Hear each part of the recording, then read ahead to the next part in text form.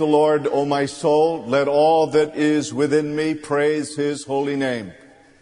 As we reflect on God's blessings and goodness for the trials and the triumphs of this last year, let us remember this morning as we worship the Lord that he is the God who has been faithful in times past and is our hope and fidelity for years to come. I came down 51 this morning, past two golf courses about a mile away, and on both golf courses, right and left, people were pulling out their clubs and playing in spite of the rain.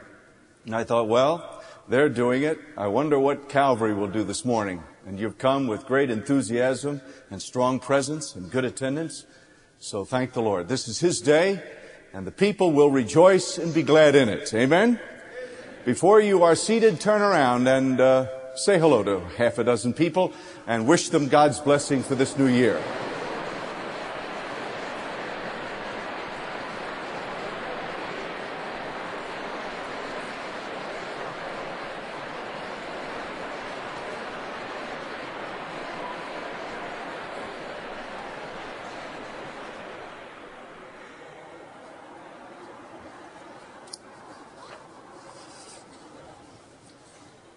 If you are visiting with us this morning and not part of Calvary's church family, will you reach in front of you there in the pew rack and take out a card that will give you an opportunity to tell us that you're visiting with us today or that you're coming occasionally?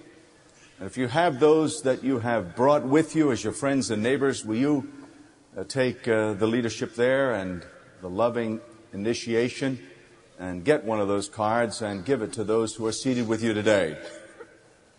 Next year, Christmas is on a Tuesday, and uh, the Christmas and the New Year's celebration falling on uh, the Monday following a Sunday is a very unusual experience, particularly for church life.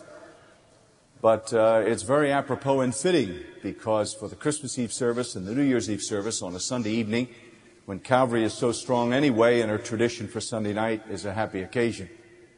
We're going to try tonight to have a wonderful time of celebration and happy praise and something to think about. There'll be chairs in the Galleria and throughout the area there and uh, we'll have special lighting and music and uh, we hope that you'll come in a sweater, a casual attire, no ties and shirts unless you'd uh, like to do that, or coats. Just come very relaxed and we'll be together as a family as if we were in a huge family room or a grand room praising the Lord and uh, starting our new year right.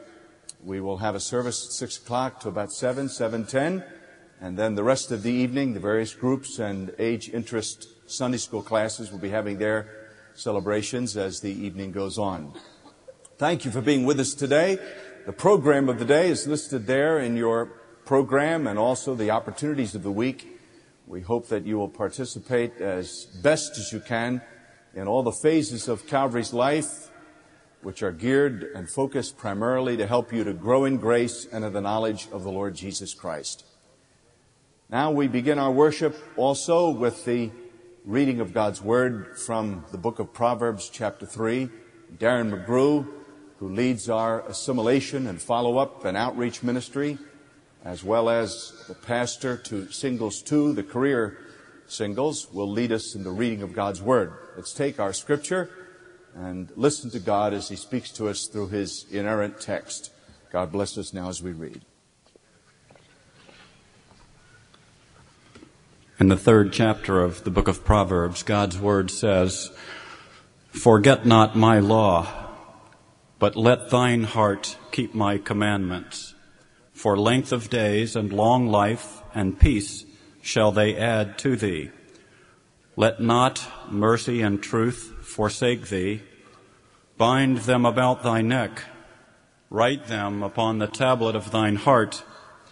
So shalt thou find favor and good understanding in the sight of God and man. Trust in the Lord with all thine heart and lean not unto thine own understanding. In all thy ways acknowledge him, and he shall direct thy paths.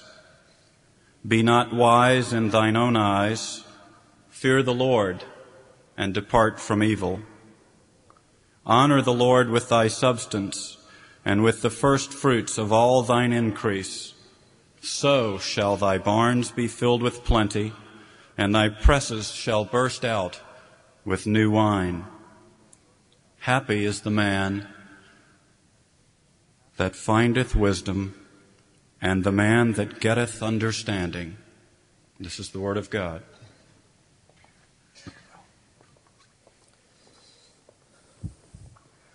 Now let us find that solitude, that rest, that quietness and confidence which God says is our strength as we bow in prayer and bring our hearts and our devotion to the throne of grace. Shall we bow in prayer together? Our Father, as thousands of us this morning here and around the world, wherever your name is honored and wherever your throne is known, we along with hundreds of millions of others obey our conscience and exalt your name. We bow before thee because there are no other gods other than those that we have made and we repent of those and we smash them today in the futility of the hypocrisy of our hearts. And we look again and concentrate and focus on Thee, the only true and living and eternal God. We marvel at your patience with the race that you have created we love thee because you loved us first. We devote ourselves to thee because everything else is a sham and leads to the dissipation of hope and the sourness of our spirits. We thank thee for thy presence with us this morning. This is your house and we have given it to thee. And we continue to make it and to minister through it so that your name would be exalted and known, so that your Son would be believed and followed, and so that your Spirit would have dominion. And so we ask that you will fill us with your holy presence today. If we have come disheveled in spirit, if we have come contaminated because of the corruption that is in the world through desire and greed, we ask that you will cleanse us and wash us and baptize us with a sense of awe and holiness. And we pray even that the fringes of the garments of our soul today would be freshly cleansed. For thou hast said, if we confess our sins, you're faithful and just to forgive us and to cleanse us from all unrighteousness. And then, as we are in a proper attitude toward thee, then you will reveal yourself to us we pray for the guidance of heaven this year in our lives and in our world. We pray for family life. We pray for our children. We pray as parents that we would be given the renewed sensitivity of parenting in a godly way of being examples and models to our children. We pray for our children, young and old. We pray for our children with us and those that are grandchildren. We pray that during this next year, no evil will befall us, nor any plague come nigh our dwelling. We pray not only for our spiritual health, but we pray for all of those today that are physically ill or who recently have dealt with the closeness of death. Strengthen all. Strengthen all today, we pray, especially Judy Burgess, we ask, O oh Lord, that you will be with her in Hickory this morning. We ask now for the blessing of heaven to be upon this house and upon this congregation in this new year. You have, with great wisdom, led us and guided us. Now we look to you to be as faithful in the future as you have been in the past, and that we would be also faithful to the heavenly vision to preach the gospel to every creature and to bring the gospel to the lost, particularly to those who are up and out and who do not yet know the sensitivity to their own sin and the perilous plight of those without your saving grace. For our world and its need, for missionaries and broadcasting stations, and for literature distribution centers, for quiet witness in difficult places, we ask your blessing. We would not be selfish and just focus on our own anxieties and fears this morning. We would ask that you would enable us to enlarge our vision, to expand our vista, and to encompass a world today for which you came, for which you gave your Son, and to which you need now to have the message broadcast. So enable us. We're your servants. Melt us, mold us, make us, fill us, and use us in your will in this new year as right now we consecrate ourselves to thee again in Jesus' blessed and holy name. And all God's people said, Amen. Our beautiful hymn, number 405, can be sung without the instruments, and I'm going to ask on the second stanza, Dan, if you will just sing with us, and we'll sing a cappella. Other than that, we'll sing the hymn all the way through. Number 405. We'll remain seated. That's as a great congregation sing this tune and these words which speak of the solidarity of our faith and our collective worship of our living God.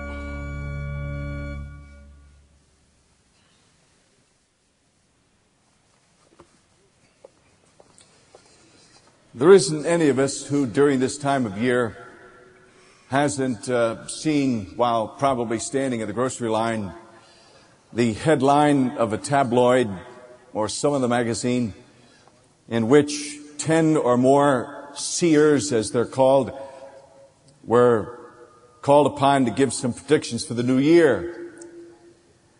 Something about the cycle of the changing of the year as we deal with chronology that leads us to think that the changing of the calendar or the next decade, as is the exciting challenge of our present sequence, will make or will not make a significant difference in our lives. There's something inscrutable about this psyche, about this thought that we are being maybe moved more by events and circumstances or time segments than we are by our own initiative. And so we say, I wonder what this decade will mean. I wonder what it will bring as if it was like the surprise of the strong wind this morning when we got out to come to church. We looked out and it was raining, but I think as we got outside, we didn't realize the wind was blowing with such gust as it was. And some of us look at life that way, as if all of a sudden there are some events that are going to take place that will determine so that the future is more a reaction to what is inevitable than that which we can chart or establish or mark for ourselves. Of course, this involves the philosophy of time and space continuums, and it involves, the, of course, the view of life. If we have a fatalistic view of the future, that things are just tumbling down, that things just take place, like uh, any other cycle of nature, by some inscrutable hand or by some sovereign God who may or may not be detached from the world, then we build, as it were, a defense mechanism. We react more than we act.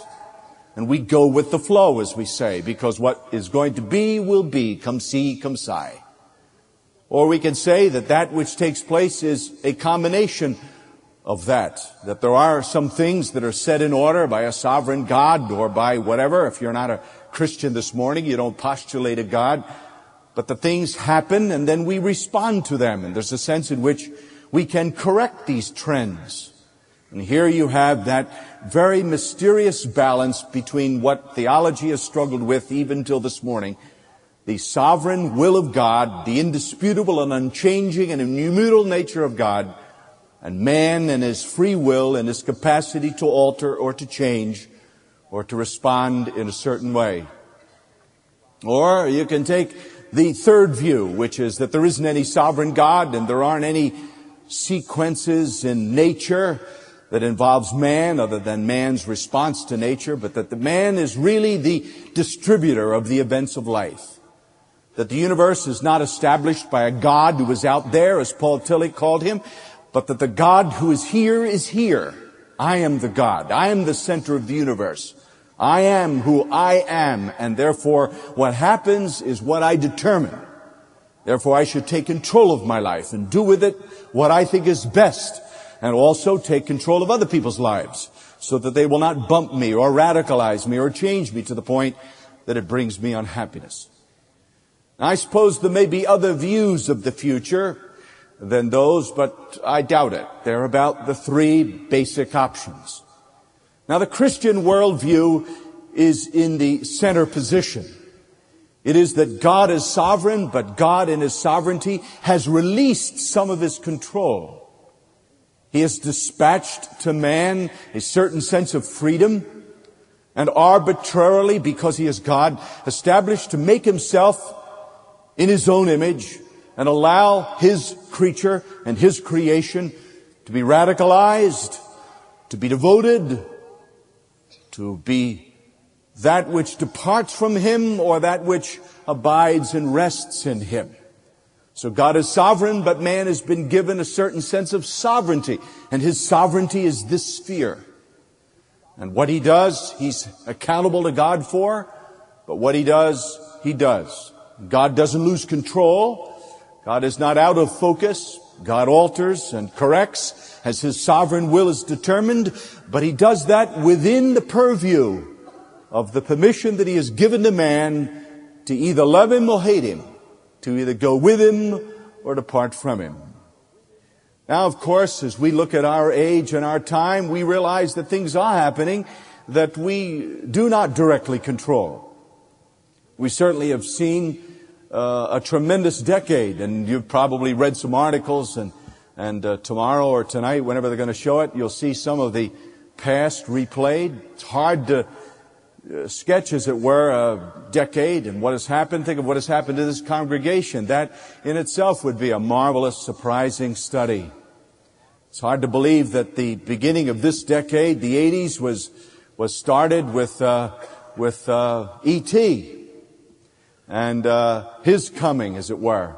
$715 million in theater tickets and $2.1 billion in the spin-off products. E.T., extraterrestrial. There was a visit, as it were, implanted in the minds of people that something outside could come into our world. And the changes and the radical dynamics of this decade is just hard to imagine. There wasn't a fax machine. Maybe 10,000 were sold in 1982. And now millions and car telephones. There were only 32,000 car telephones in 1980, and now there are half a million. And I saw two portable units while this week went by. Now there's a small unit about the size of a pocket diary uh, that doesn't have any cords or wires or anything, and you can take it everywhere and dial all over the world. And they're going to get smaller, of course, all the time. The ability to communicate, the ability to travel, and the ability to see the world, of course, has been part of the radicalization of our world. And this is what, of course, has happened in Eastern Europe. East Germany watched West German television. The communication system was open and people began to see that there is another way to live. And probably the answer is not just in trusting leaders, but in the redistribution of, of wealth, which of course was the heart and the core of communism. And so the world is changes, and it changes so radically, and it's changing so quickly that we can well imagine that maybe the E2 idea, the ET idea, can bring to us the realization that there might be another image, much more attractive and much more articulate, who might be a, a person who would be accepted by the world as a global Messiah, as they're shouting Gorby, Gorby, Gorby, and there is a cult for a strong leader and a, and a desire of the nations of the world for somebody to bring us all together, not only religiously, but politically, and those stepping stones seem to be placed now in the sidewalk of humanity. We might be in our own generation, in the next 10 years, before the turn of the century, and how quickly years come and go, see the stage set and the furniture be put into place for the curtain to be drawn of the coming of the brutality of the Antichrist, who will first lie to the world and speak peace and look as if he's bringing harmony. And then when he seizes control of the world, the world then begins to come to part. And at the end of that period, a seven year period, as the Bible says, Jesus Christ returns. A wonderful hope, though, for the believer is that he doesn't look for the Antichrist. He doesn't look for the centrality of political power. He looks for the Lord Jesus in heaven. And he will be lifted out. He will be raptured out. He will be taken away before the Holocaust that comes upon the world. The faith that keeps you abiding in Christ today will deliver you from the wrath to come. Paul wrote that to the Thessalonians and wanted the believers there not to be part of the great deception, the big lie, caused them to think that their focus should be on anything else than the hope and the joy of the gospel. Now, one of the great establishing marks for us this morning, and, and again, a brief message tonight, is to ask ourselves, how does God lead? How does God alter the furniture on the stage of the program of history.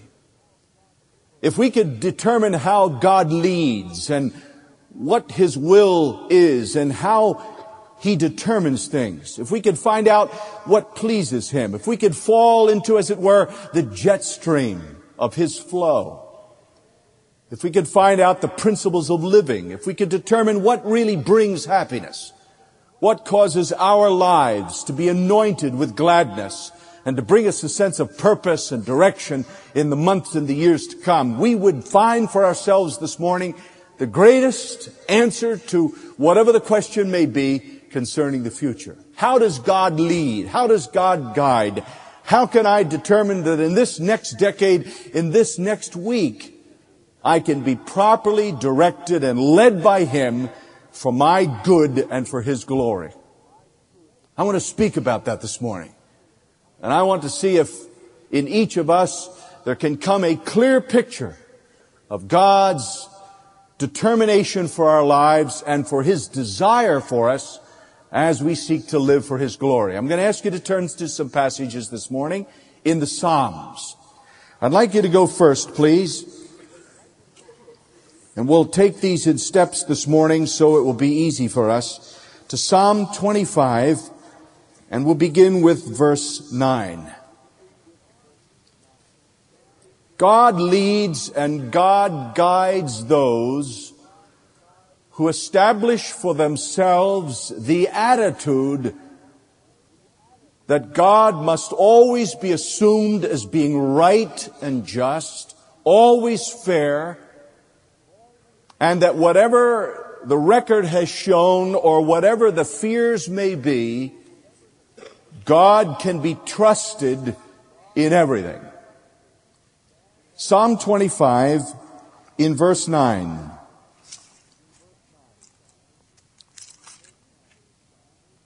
The meek will he guide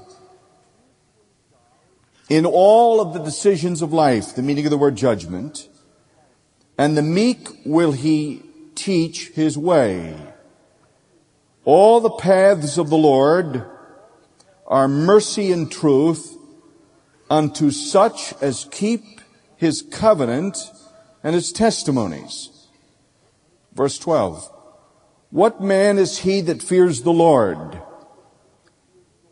Him shall he teach in the way that he shall choose. His soul shall dwell in ease and his seed his family and the family to come shall inherit the earth. The secret of the Lord is with them that fear him, and he will show them his covenant. The fear of the Lord, and we're going to conclude our message with this thought. The fear of the Lord is, is justified apprehension. Let me put it that way. The Bible says the fear of the Lord is the beginning of wisdom. In other words, the capacity to know what is to be known is to have a proper, proper reverential trust for God. That God is holy, He's almighty, He also is intimate, He is wrath, and yet He is love, He is mercy, He is grace. He is just and fair. He never has to be disputed with. He's always right. And to have that understanding and attitude of God is the meaning of the word fear. And the Bible says if you fear the Lord, the fear of the Lord is the beginning of wisdom. It also says to fear the Lord is to despise that which displeases Him. The English translation is the fear of the Lord is to hate sin. And God wants us to fear Him, to have justified apprehension, to understand the way He works, to understand the way He thinks, to determine what He wants, and to do what pleases Him. And the Bible says that attitude is called meekness. It has nothing to do with being shy or timid or wimpish. The Bible says in the book of Numbers, Moses, my servant, is very meek. And Jesus said, the meek shall inherit the earth. And Jesus said in Matthew 11, I am meek and I am lowly in heart. So meekness is a strength. Meekness is a virtue. It means that everything that happens in life you place at the feet of God. That God is sovereign, that He is Lord, and your attitude toward Him should be one of confidence and trust. that you should not dispute, resent, resist, argue, debate, or call into question his mighty ways. And those people that have that kind of mindset and that kind of attitude, the Bible says, God will lead those people. He will guide those people. So there's a sense in which in the new year, you not only need to resign yourself to the fact that God is almighty, but that you need to keep before you an attitude of reverential trust and fear of God. He will never fail. He is Lord. He is in complete control today of everything. The heart of the king, the Bible says, is in the hand of the Lord, and he directs all things. And he may use a leader. He may use a nation. He may use the acts of nature, which he all creates, because every star bears his name, and every lightning bolt has come at the end of his finger, and all of the variegation of nature is controlled by his inscrutable fiat, his divine will. All of this is his. He is Lord of all and will never be dethroned. And because of that, those who love Him and follow Him have a attitude of meekness and reliance and trust. And when this attitude is planted, when it is resident in your life, He will lead you. Meekness, of course, is the op- uh, uh, opposite of arrogance. Meekness has to do with humility. It doesn't mean that you don't take initiative. It doesn't mean that you are not assertive. It means that all that you do, whether you are passive or active in life, you do with regard for the fact that He is God. And you trust and rely in Him. Now the question is this morning, do you have that attitude today? And will you have that attitude next year? Particularly in things that are difficult or hard to swallow or hard to take or even probably more so in our society of things of blessing and abundance and affluence. It's the best of life that is contaminating us, not the worst. It's the fact that we have grown indifferent and thoughtless and thankless about the goodness of life that has created the incrustation and the callousness over our hearts. We this year need to rely completely on God even though we are blessed and healthy and happy and have the finest medical systems and we have a great economic system and so on. And even though our jobs are stable, it is in the time of blessing and in the time of blight that our total reliance must be upon God. The question is, are you ready to posture yourself for the new year and the next decade with that mindset? Because those people who have that attitude are those that will be guided by God because they fear Him. They have a justified apprehension that to disobey God will bring His judgment and their own disappointment. And to please God will cause God to please and to bless them. A second passage and a second principle of the day is found in Psalm 31 in verse 3.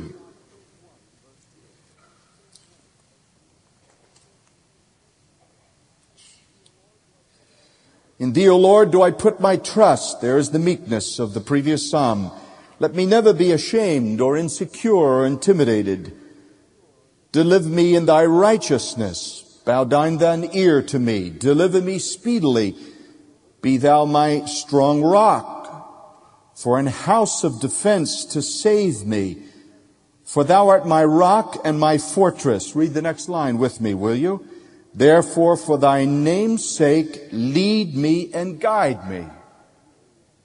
The first principle is that I must be meek and sensitive.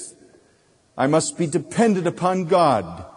That in all things, without dispute or reservation, resistance or disobedience, I will trust Him inscrutably. The second principle is that I remember that God blesses, leads, and guides those who bear His name, and He also protects them and sustains them. In Psalm 25, the word guide is a unique Hebrew word, and it has to do with lifestyle. The word guide here is another Hebrew word, and it refers to that which is a protectorate or a fortress or that which sustains or strengthens. In fact, the word fortress is a Latin word, fortis, and it means to be strong. In music, you have fortissimo, which means loud or strong. And this is the root of this word. You are my fortress. You are my strength. You are my buoyance. You make me to feel as if I can make it. And the fortresses, of course, were cities of strength where people could find refuge. And all the cities, as you know, in the Old Testament era, were walled cities. So this concept came to be a, a interpretation of the soul's and the spirit's reliance upon God.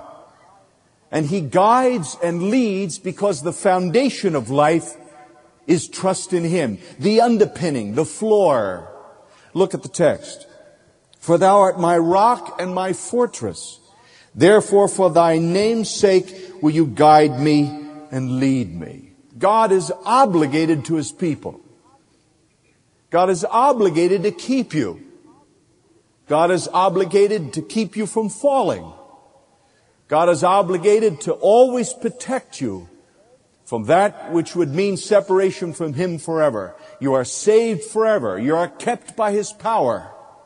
You are saved by His grace. You will never be lost. Eternal security is not only a doctrine codified by the church, it is the basic message of the entire Word of God. He is married even to the backslider. You will never be lost. And so God has obligated himself to you by giving you his name. You're in the family. You're in the herd book. You're in the will. You shall never be lost. And so this provides for the believer a sense of strength, provided, of course, as the scripture says, that we believe that and we conceive that and we begin to behave in that way and we make him our foundation and we make him our solace point and we make him our fortress. But unfortunately in our society, we substitute alternatives. And we look to job, for instance. Of all the things that hold you together today, primarily psychologists are telling it is your job. The job is the primary bond for the American. The primary bond for Eastern Europe is freedom. The primary bond for people in Africa is maybe one meal this week. What is the primary bond? What would cause your life to fall apart? It isn't missing lunch. It isn't really the change of the weather. The thing that shakes up and disturbs and radicalizes and brings mental instability to the American is his job. It's job security. It's number one. A man will even be unfaithful to his wife based on the fact that he could step up and move ahead in his company. If he alters his home domestic lifestyle based on the partying and the trade-offs in business and contract and so on, he will slight anything and everything if necessary to keep his job. The primary bond. What is the primary bond of America? economy, money, job security. And these other things are sometimes secondary and uh, even farther down the list. What should be the primary bond of the believer? His ground, his primary bond, the epoxy, is the fact that God is his strength. God is his floor. God is his rock. God is defense for him. Job said, I know what's coming apart. I know what it appears to be like. And I know what you might think with friends like that who needs enemies. But even if God kills me and doesn't explain it to me, I will then trust him because I know that someday I shall see my Redeemer and I will stand before him in that day. Now it's almost impossible for a, a pastor, a minister, or somebody who is trying to get this across to us. It's almost impossible for us to get that through to our psyche. Because our world, the Western world, our country doesn't live on that level. It lives on a physical level. It lives on a materialistic level. It lives on a visible level. It lives on a level of sensory appreciation and gratification. And it's hard for us as Christians to be heavenly minded in a world that is so powerfully indulgent and to say that this morning for this next year, come hell or high water, come an explanation or not, I will make my total reliance I will make my fortress, don't make the word symbolic, make the word what it really means to be, strength. I will make the strength and the momentum and the vitality of life God and His faithfulness to me. And if you do that, God will guide you. If you do that, the windows of your life will not be opaque. They'll be transparent. You'll be able to see the clouds. You'll be able to see the future. You'll know that God is faithful. He is behind you. He is your underpinning. And no good thing will He withhold from you because you walk uprightly. That's a Bible verse. So the second principle of the day is that he guides because he's obligated. He guides those who are his namesake. Now the question is this morning, are you his namesake? Are you in the family? Do you know him? Are you just an onlooker? Are you a believer? Do you know Jesus Christ is your Savior? Have you made the floor of your life God and only God and His Son Jesus Christ? If you have, you've got a great future.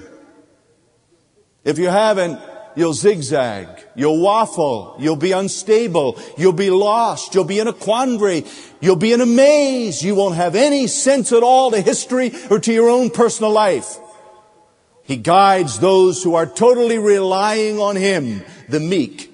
And He guides those who are His namesake, who make Him their sole strength. Alright, let's go to principle three.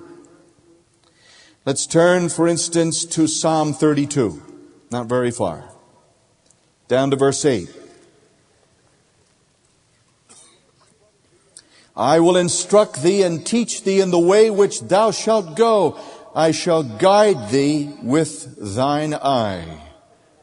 So don't be as a horse or a mule that don't have any understanding. Their mouths have to be held tight by the bit and the bridle over their heads. Many sorrows shall be to the wicked, but he that trusts in the Lord, mercy shall encircle him. Be glad in the Lord and rejoice, ye righteous, and shout for, glo- for joy, all ye that are upright in heart. Look at verse 8. I will instruct thee and teach thee and guide thee. Now the eye, of course, is the window to the soul. Studies have shown that by looking at the eye, you can see right into the psyche. A doctor is checking, let's say, a pain in the stomach will look into your eye. Someone who is a physician of the eye can tell a great deal about stress and not only the abuse of the eye or the adjusting of the lens or whatever. The eye is the window to the soul. For instance, if you see something very awful or unhappy or violent, you will, you will uh, find that uh, the lens of your eye and the pupil of your eye will adjust. Things of grandeur and wonder, also the eye will adjust. It's an amazing thing. And the Bible says that we are the pupil. We are the apple is the, is the English word. The meaning is pupil. We are the center of God's eye. In other words, God sees us. When He looks out, as it were, this this uh, anthropomorphism, which is a word that describes a human characteristic that we give to God to better understand Him, that when God looks out, He looks and He sees us. We're in the center of His vision. Now, when you look at that concept, it becomes larger, and we understand that God guides us with His eye. And so we're looking at Him, and He is looking at us, and there is direct communication. Sometimes the best communication can be not even a word, but just looking at somebody's eye. You can tell by watching how their eyes work. And so the concept is that as we're face to face, head on, eyeball to eyeball, straight with God, as we're looking at Him, He, he guides us and He leads us. Now how does He do that? Let's go to a passage of Scripture in the New Testament, to the book of Romans chapter 15. Because it's obvious at this point that we can't look into the face of God and, and, and we can't eyeball Him, as we say. But the word teach, the word teach in the text in the Psalms give us a great leader, an indicator here. In the book of Romans, chapter 15 and verse 4, we read, For whatsoever things are written aforetime were written for our learning, that we through patience and comfort of the scripture might have hope. Read that verse with me, those of you that have your Bibles this morning. Let's read it again. It's a great verse. Romans 15 and verse 4. Together, for whatsoever things are written aforetime were written for our learning, that we through patience and comfort of the scripture might have hope. Now, are three words here that are important. The first is learning. The second word is patience. And the third word is comfort.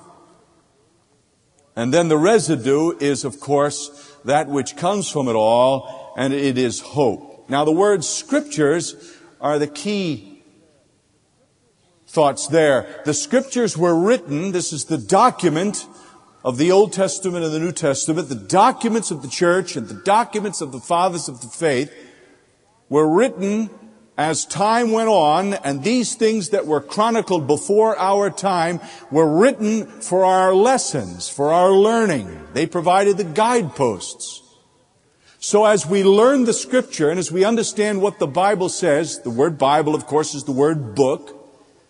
As we understand what was written for our learning, the Bible says the learning process brings the second step, which is patience, the ability to deal, the ability to hold on, the ability to cope, the ability to manage, the ability to plan, a time of patience or endurance or hang on is a time for re-examination and adjustment and goal setting and evaluation of priorities. Patience is not only just gritting your teeth and grinding, as it were, the sand of your soul, it is a time of evaluation. You step back. You're put on hold. There's a pause. You're hanging fire, as we say. So by learning what has been written, I might have a time to reevaluate. I'm put on hold. I have to be patient. And this patience, look at the scripture, brings me comfort, brings me security, brings me warmth, brings me a contentment.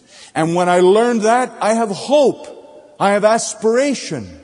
I have relief. I can face the future. Now, what does this psychological sequential pattern, what does it tell us? It tells us that God leads us and guides us by our attitude of meekness, by the obligation to us as we are His people, as we make Him our basis of life and strength, but also that there are documents and scriptures and passages and writings that if we learn them, if we cognitively learn them, if we understand the rules of the game, as it were, we will then have patience, and that will give us the ability to feel confident, which is the meaning for the word comfort, the opposite of insecurity. And we will have hope and aspiration and a dynamism that heretofore was impossible when we, un- when we didn't understand how God worked. Now this is the value of the scripture. This church would not have a chance if it wasn't for the integrity of the scripture. Any church can serve meals. Any church can play music. Any church can have daycare. Any church can have a beautiful building. Any church, if it wants to, can find out what the people really want and need and give it to them and it will be a success. Study the market, meet people's need, and you've got it. And be good in your service to the people's desires. But that's not the church. That's not the heart of what the church is. The only merchandise, the only clothing, the only accessory, the only thing that the church has that is truly authentic and inscrutably unique is the Word of God. That's all. Men can speak, men come and go. Fads and trends in church growth and church life are as variegated as the styles of our ties this morning, those men who are wearing them. But the essence of the whole message is the Word of God. If it were not for the Word of God, we wouldn't know what God was, or what He wanted, or what He had in mind, or who He sent. It comes through the Scripture. And the ability for the Christian to be guided and directed and led by God, and to know what to do in the future, His decision-making process must be guided and manicured by a proper and thorough understanding of the scripture. These were written for our learning that through patience and comfort we might have hope. God does not lead ignorant saints. He cannot guide you and direct you if you don't know this book. And that's why the pulpit is in the center of this church. Not because the pastor is prominent, but because it is a statement. There isn't an altar here. We're not reenacting Calvary. The center of this church is the Bible. The Reformed tradition brought back the scripture to the center of the congregation. The center of worship is not the congregation. The purpose of worship is not celebration. The purpose of worship is to listen to, to understand, and to be ready to be committed to the obedience of God's holy word and will. And so as you understand that, you'll be guided and you'll have comfort and strength for this coming year. The third principle, God leads those who understand the principles and the guidelines that He has inscrutably, perfectly, ideally established for His people. Let's go to a fourth principle and come to a conclusion. Let's go to Psalm 73.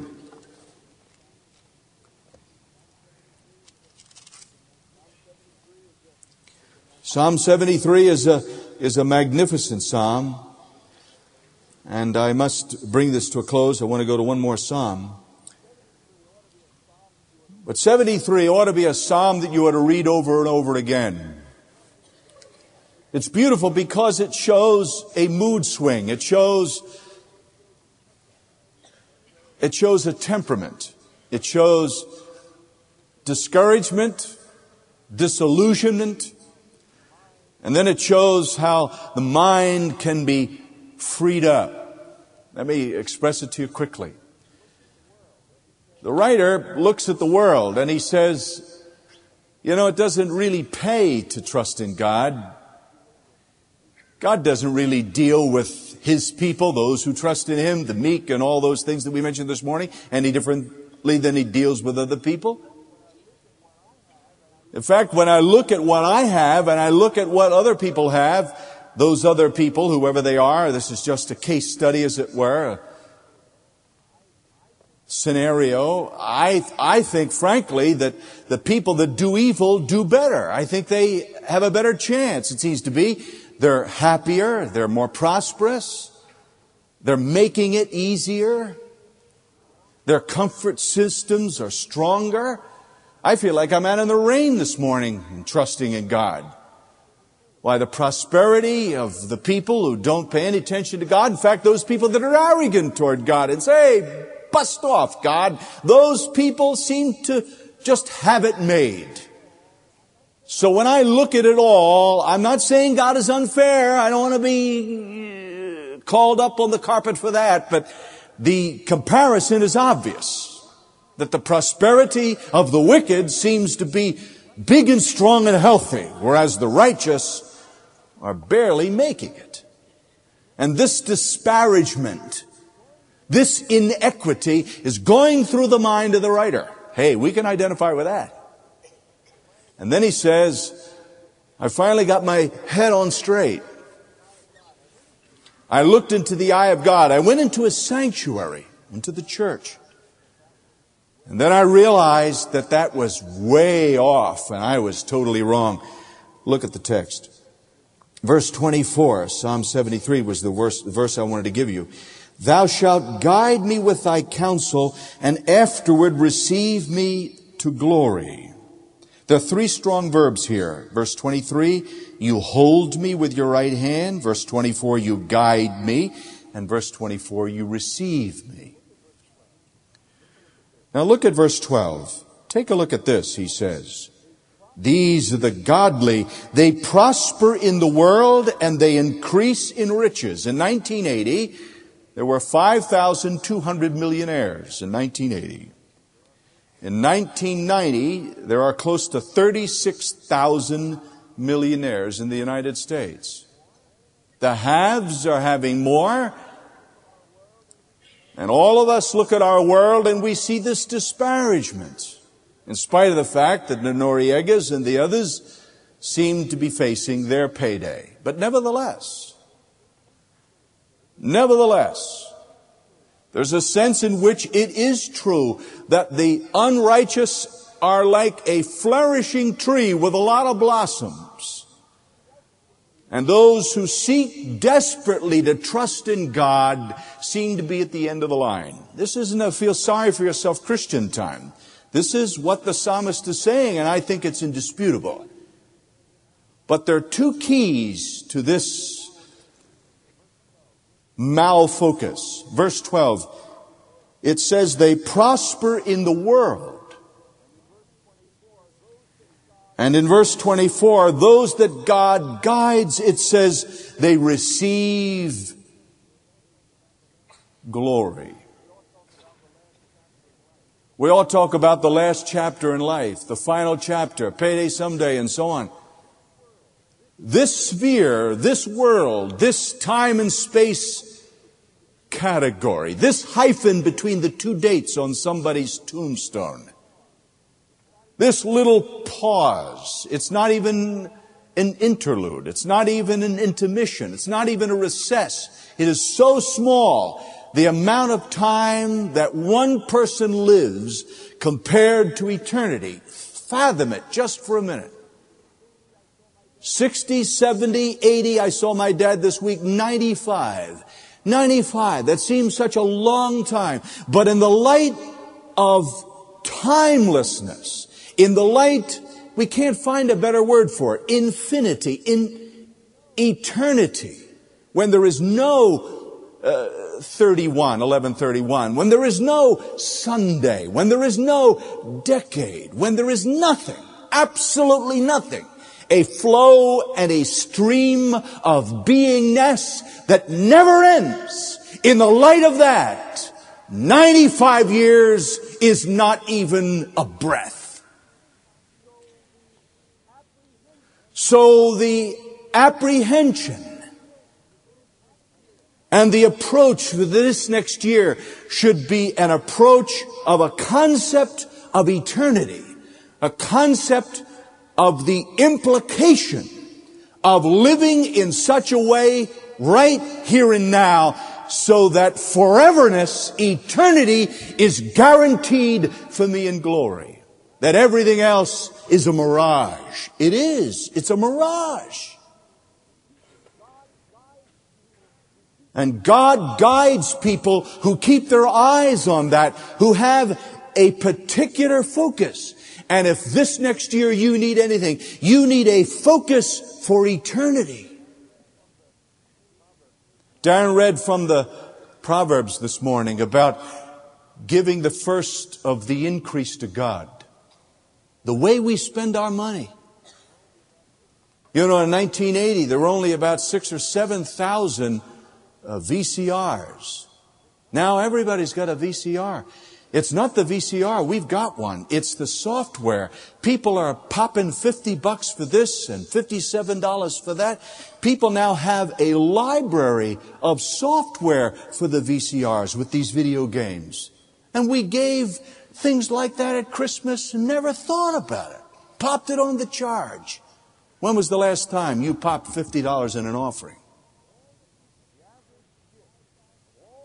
The average gift of all the people, when we take the $5,000 and the $2,000, which are very rare, the checks and the money from this congregation on the Sunday morning, and probably uh, 40% of the people don't give anything, the average gift of all the people on an average Sunday morning is about $21.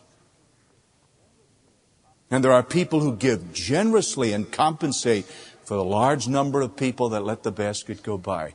I mentioned that, and I very seldom mention money at that level, is to bring you into focus. The way you spend your money is the interpretation of what you value.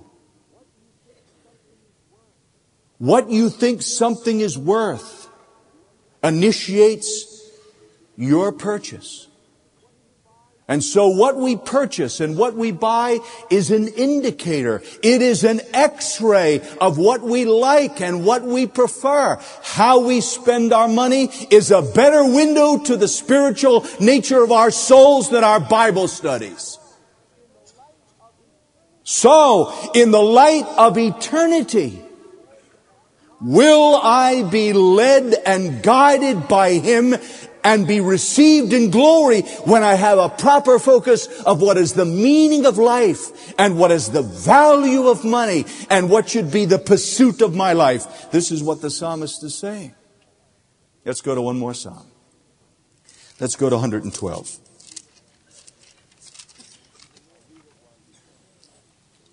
I'll read it while you turn to it. Praise ye the Lord. Blessed is the man that fears the Lord, that delights greatly in his commandments. His seed shall be mighty upon the earth. The generation of the upright shall be blessed. Wealth and riches shall be in his house, and his righteousness endures forever. Unto the upright there ariseth light in the darkness. He is gracious and full of compassion and righteous. A good man shows favor and lends. He will guide his affairs with discretion. Surely he shall not be moved forever. The righteous shall be an everlasting remembrance. He shall not be afraid of evil tidings. His heart is fixed. He trusts the Lord. His heart is established. He shall not be afraid until he see his desire upon his enemies. He hath dispersed. He hath given to the poor. His righteousness endureth forever. His horn shall be exalted with honor. The wicked shall see it and be grieved. They'll be frustrated by the lifestyle of the saint. He shall gnash with his teeth. He shall melt away. The desire of the wicked shall perish. I put down this week uh, 1, 2, 3, 4, 5, 6, 7, 8, 9, 10, 11, 12, 13 things that characterize the person that God guides. Look at them. First, he will have a strong family. Verse 2. He will have influence on others. The generation, the generation of the upright shall be blessed. If you're guided and led and blessed by God, if you're properly focused, do you know what influence you can have on other people? Do you know the impact that you can have on others if your life is right with God? Everybody is following somebody. Everybody is a leader. Some are leaders by a lot of people, some are leaders of a few people, but everybody is a leader. Everybody is being watched. And the influence and the impact of one life is amazing. If you are a righteous person, you can infect your entire generation. And then the person is godlike. Characteristics of God, verse 4 gracious, full of compassion. He does what's right. He's sensitive to others. He's generous. He's discerning, verse 6. He's stable and reliable, verse 8. He trusts in God in spite of the consequences, verse 9. He is a person of integrity. He has permanent influence. And look at the text. The scripture says that he is blessed of God because he fears the Lord. I suppose that would be something I would desire this year more than anything else the theme of this passage? That I would not only truly, let me reiterate, the best way to learn is to keep repeating it. That I not only would be meek and sensitive and dependent upon God and without a spirit of dispute or argumentation or rebellion, that I would be as Moses and I would be as Jesus. I would be constantly relying on God's inscrutable and holy and perfect will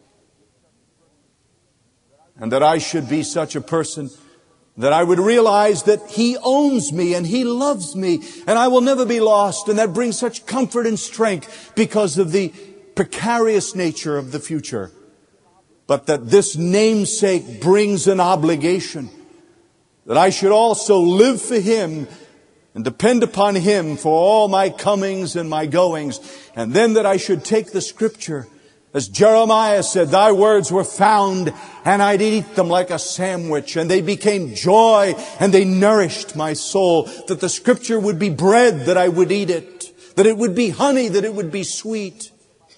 That it would be a light and a lamp unto my path and it would guide me and I should learn the lessons of scripture that by patience and comfort I might have the aspiration and the great dynamism that's needed for this coming year. But then there's a sense in which I should really have a proper evaluation of my life. The milieu of my world might be focused on eternity, that I should realize that I'm marking now a record that will be read in heaven, that everybody will be accountable unto God for all the things done in the body, whether they be good or bad, and have such a disposition of makeup, such an evaluation of life, that everything should be done in the light of the fact that He will hold me and guide me and receive me into glory. What a tremendous view of the future. What a tremendous hold on life I would have if I lived everything in the light of that which is inevitable and sure to come, and that which will be never ending, facing God and living with the consequences of this life eternity with no ability to alter or change it once it begins. And then that I should have a fear and a reverence for God, that my life might be molded and made and shaped in such a way that my family and my seed and my generation and all that are around me feel the influence of a godlike character, that I might be gracious and merciful and full of compassion. God will lead such people. He's obligated to do that. And the question is, are you going to be of that mindset? Are you going to be of that disposition? Are you going to begin not tomorrow? The best rule for making resolutions is to keep the list small and to make the resolutions that you can really keep. Don't make a long list. The sense of failure builds up quickly and you lose all the momentum that you hoped that you had. Make a short list. I will do this. And secondly, don't make a list tomorrow. Make it today. Don't begin tomorrow to diet. Diet today. Don't begin tomorrow to be loving. Be loving today. Don't begin tomorrow to be disciplined. Be disciplined today. Don't begin tomorrow to be ge- ge- uh, generous. Be jealous today. Be generous for God in the moment. Realize that today is all you have. No man knows what a day will bring forth. For what is your life? It's as a vapor. It appears for a while and it vanisheth away. Ten years from now, maybe 35% of this congregation won't even be alive. Who knows? Nobody knows. So there's a sense in which I need to get my priorities exactly established. And today I must be yielded and committed and appropriately focused to my world. And then live in such a way that there will be no turning back, that there will be no defeat, that there will be no way in which my life cannot be pleasing to God. And whether it be this afternoon or the afternoon of the future to come, I will face him unashamed, standing before him in the boldness of his blood and hear him say, well done, good and faithful servant. Enter now into the joy of your Lord. Be guided, be led by God. How to do that is to be, not to do. For being is more important than doing. Be the person that God has directed that you should be. And begin that right this minute, right now, right this very split second. Say, become, and be. Take my life and let it be consecrated, Lord, to thee and He will guide you. Shall we pray? Our Father, this morning we ask for a special dispensation of your grace. A very, very special sense of what is right and what is immediate and what is ultimate. I pray this morning as never before in this pulpit, in this room, for a great movement of the Spirit of God upon this congregation. A great sense of nowness. A great sense of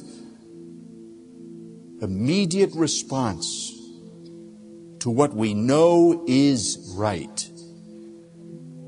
I pray for the total defeat of the devil and all of his work and way. I pray for the destruction of procrastination. I pray for the demise of hesitancy.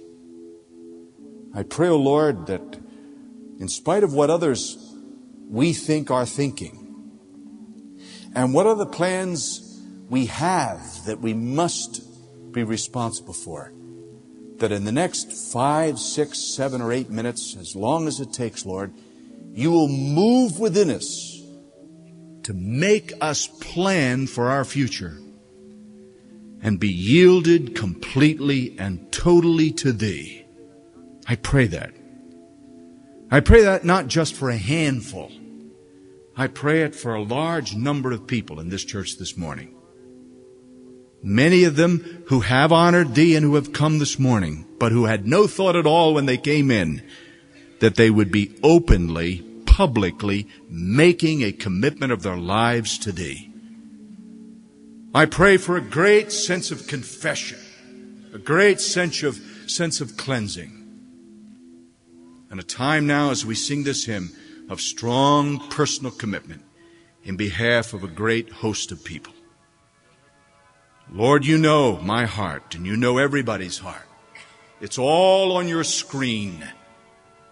There's not a person in the world who in your sight can play both sides. And so try us and weigh us and deliver us from all fear and cause many this morning to be consecrated and yielded and publicly committed to Thee. We pray in Jesus' name. Amen. I am looking this morning to the Lord to cause many of you to say as we stand and sing this hymn. Now there are six verses. I would suggest we take the first verse, the second verse, the fourth verse, and the fifth verse. One, two, four, and five. We'll sing these verses. And I'm going to ask that no one leave. I would like this morning to have a reasonably protracted invitation. Not long. I know it's a busy day, but it's a holiday tomorrow.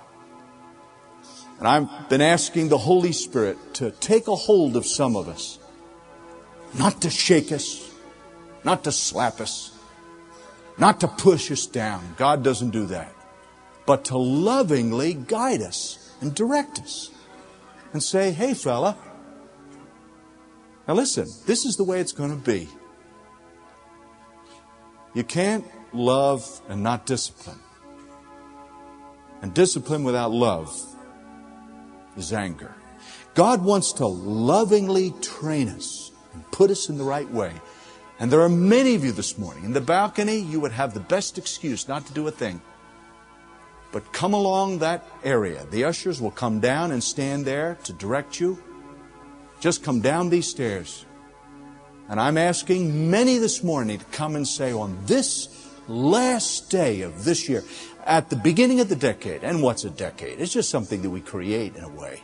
But at least now, as we're thinking about the new year and the new century, I today am going to be established in the fortress on the ground floor of being totally yielded to God. You know what I'm talking about. You got the point halfway through the message. I should stop talking and I will. But you have to publicly, openly acknowledge that to your generation. You have to confess that before people. If you don't do it publicly this morning, there's not much chance you're going to do it in the workplace. You need to do it among God's people. And start today to take your stand and to boldly say, from this moment on, I'm yielded and committed to Jesus Christ. He's the head of my life. I'm going to be meek this morning and strong and trust in Him.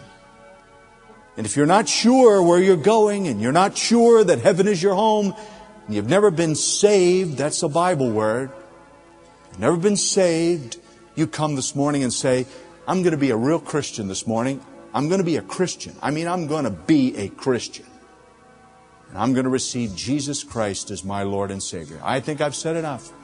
And I pray that hundreds of Christians will be praying strongly as you've never prayed before, that at the end of this service, many will come and openly acknowledge Jesus Christ And I'm going to ask you to stand there. Don't go away as the counselors usually are asked to do.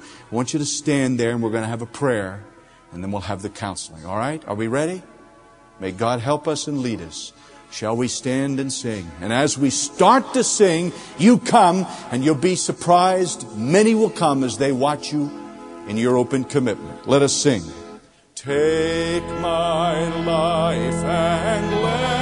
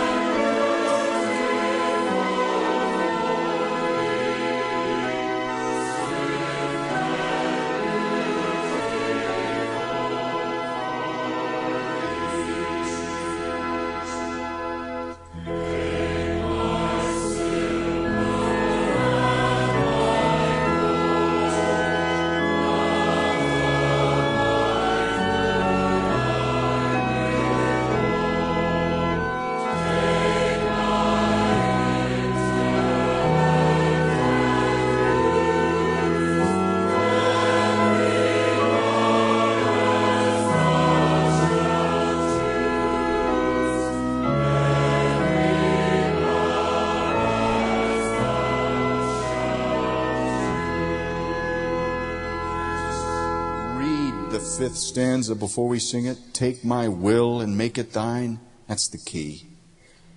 The will, that's where you decide things. You think about it, you feel it, then you do it. Some of you are thinking about it, you feel it, but you need to do it. You need to move. You need to take my feet.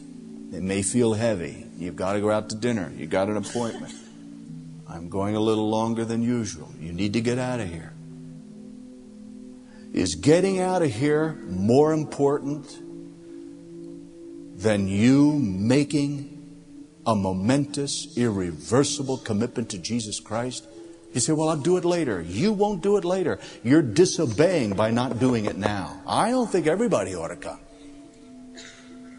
But there are many of you, maybe close to hundreds of you, who have never personally, openly, in confession said, My life belongs to God in Christ. And I'm going to commit it openly to Him this morning. Take my will. Let's sing. And will you come? Take my will.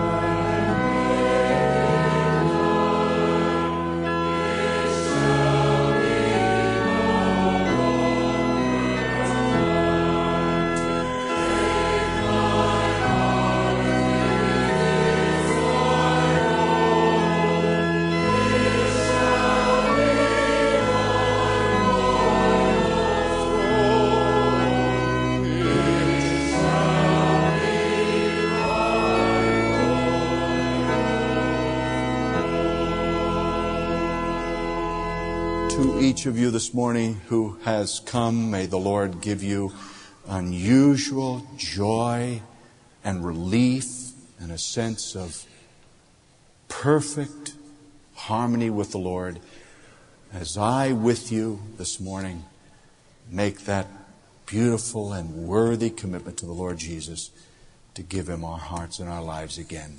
Will you pray with me? Our Father, for those who stand in this outward open way, bring to their lives a sense of great peace now, a sense of rightness, a sense of power, and fill them with the Holy Spirit in an intoxicating way that the joy of the Lord will be their strength, and as they have submitted to you for guidance and direction, as they have made total allegiance open and above board today, now give them early indication this day and tomorrow that you are doing exactly what you promised, abundantly above all they could ask or think. Bless them and fulfill them, we pray. And for all who possibly this morning did not yield but need to, may throughout this day they feel such unhappiness and restlessness until probably by the end of the day they will be on their knees, yielding and totally committing to your Lordship. Thank you for this great service this morning, for the Sunday school hour, for the Bible teaching, for the care with the children, for the joy of our music, and for the freedom and the relaxation of this afternoon. Bring us back to this house tonight with great blessing, we ask, and abide with us in unbelievable levels in this new year. We ask in Jesus' name. Amen. I'm going to ask now we bow for our benediction as Thurman Stone leads us. And before that, would you please be seated?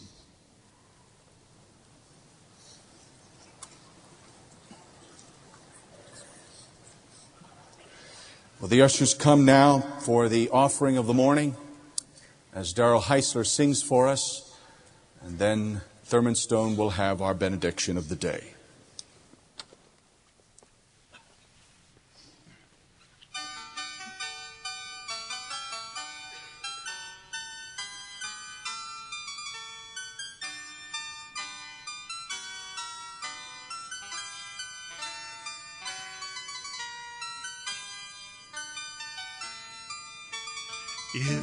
Sky and galaxies declare your holy name, if all creation finds the words your power to proclaim, how can I articulate with words and with my days your glory and your majesty and live a life of praise and live a life of praise you.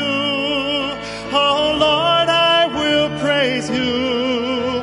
My voice will join the chorus that